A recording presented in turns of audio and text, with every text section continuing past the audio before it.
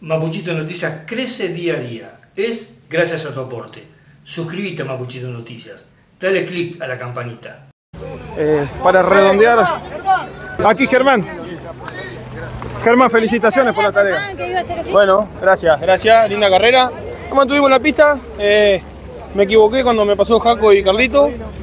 Pero bueno, una lástima. Eh, después sabíamos que se iban a ir a correr entre ellos porque estaban muy eh, definiendo campeonato. Así que bueno, feliz por el resultado. Agradecido a todos mis sponsors, a mi familia, a toda la gente de Doberá que se bancó todo el fin de semana. Increíble el público. Hacía rato que en un turismo nacional no se veía tanta gente. Así que bien, bien. No tenía miedo el pelado, venía atrás, me traía medio cagando, digo. Pero bueno, nada. eh, después bien, una gran carrera. Así que felicitar a todo el equipo. ¿Crees que fue la mejor carrera del año? No sé si la mejor carrera, pero fue entretenida, emocionante, un condimento diferente, es menos mal que no se relanzó, estaba muy peligrosa la pista a lo último. Con el Paiscar era inmanejable el auto, así que ni me quiero imaginar con el relanzamiento. Creo que los comisarios hicieron un buen trabajo. Ahí está la palabra de Todino, que creo que